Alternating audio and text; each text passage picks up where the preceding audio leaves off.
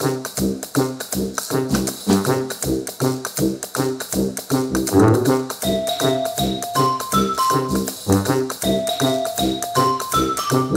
guys, what's going on and welcome back to What Shall We Do Next and today I thought we would embark on an adventure back to the 1990s, many hundreds of years ago.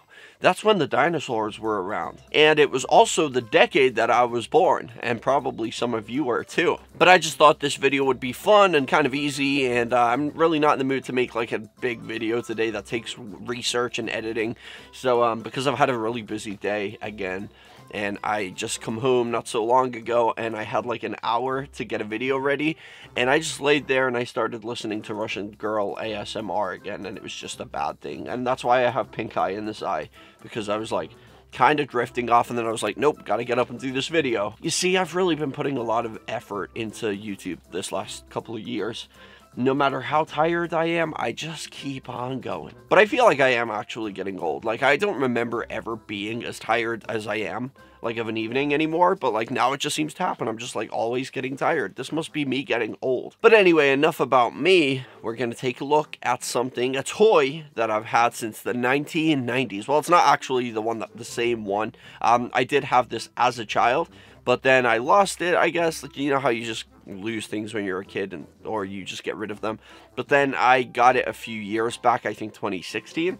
Um, and I managed to get one online, which was exactly the same as the one I had when I was a kid, because you can get like different colored ones and stuff like that. And it is a Jibba Jabber. And I'm not sure if you guys will. That's where I get the thing from. You know when I say, but enough of the Jibba Jabber? That's where I get it from because of this thing right here. And yeah, it's basically in case you millennials, or, well, I'm a millennial, uh, you Gen Zers don't understand what this is, it's uh, a toy that they made in the, the 1990s, and what you do, you can probably tell he's got a very long neck, and that's so you can wrap your hand around it and give him a good old Die, die, die, bitch! Die, motherfucker! I think I actually let out something there. But yeah, um, it soon got recalled for that exact problem. They were saying it got banned, it got taken off the shelves because they were saying that that was encouraging and enabling and teaching children to choke other kids and they will make a funny noise.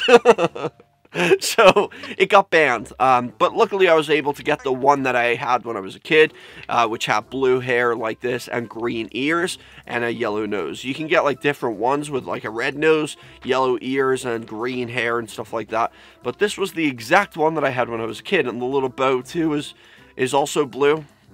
And oh my god, this is like the most 1990s thing I've ever seen. Look at that retro style fucking costume he's wearing. What in the holy hell?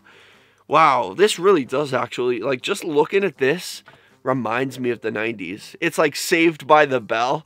Like, um, well, that was kind of, was that 80s or, I think that was the 80s. But it's like that kind of style, like, the weird, like, colors and the zigzags. Oh, man, take me back. but he's got like these little stuffed feet. There's not much to say about those. Again, the arms are very flaily and flimsy, but the hands are like a hard rubber. Um, like a hard plastic, but like a rubbery. You can like bend the fingers and stuff. Um, he only has three fingers, just like the cannibal in Wrong Turn. And uh, his body is like stuffed with, again, just like wool, like cotton and the bottom has like a hard base so you can actually sit them on a table or something like that. I don't know whether it was meant to be for children or if it was like for because i remember in the commercial it used to show like an adult guy with it on his table and like when he got frustrated at work he would just like choke it. Um, the ears and the back of the head has this like little thing this little hole with a little plug in it and um, it has like four holes kind of looks like a button the ear, this one's completely blocked off. And this one is the same as the hole on the back. Now that's so you can like make the sound. I actually don't know what's inside the head that makes that sound. But he's got the little blue hair, black beady little eyes. And wow, that's the scariest thing I've ever seen. I've just realized how scary this thing is. Maybe it's haunted. Is this my new haunted doll? Wow. But yeah, it's, it is kind of a strange looking character. Um, but yeah, I've I had this when I was a kid, and I remember a few years ago, like 2016, I remember thinking about it, and I was like, man, I remember that, like a jibba jabber. Um, or a jibba jabba. I just I was went online and I found one. And I can't remember how much I got it for. Uh, they're not really. You can still get them, but they're not like that expensive unless it's like new in the box. Then it's literally like a vintage thing. So I mean, this is classed as vintage, but it's just not in its its original box. So when it's in its original packaging, it's of course it's going to be worth a lot.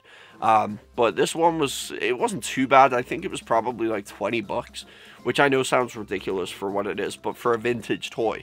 Um, it's crazy. It's crazy to think that these things got banned. But yeah, that's pretty much all it does is it, you just like squeeze its neck and it makes a funny sound when you choke it.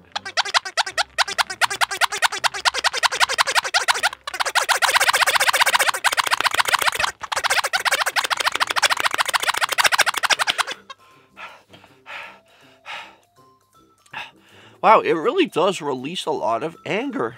I feel better about my life now.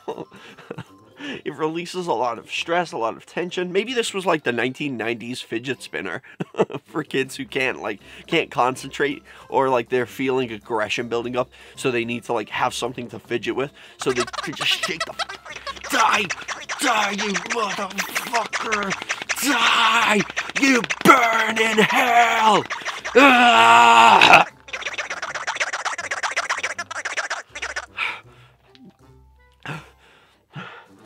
It's like a workout too. I think I just broke my arm or like torn a muscle. Ow.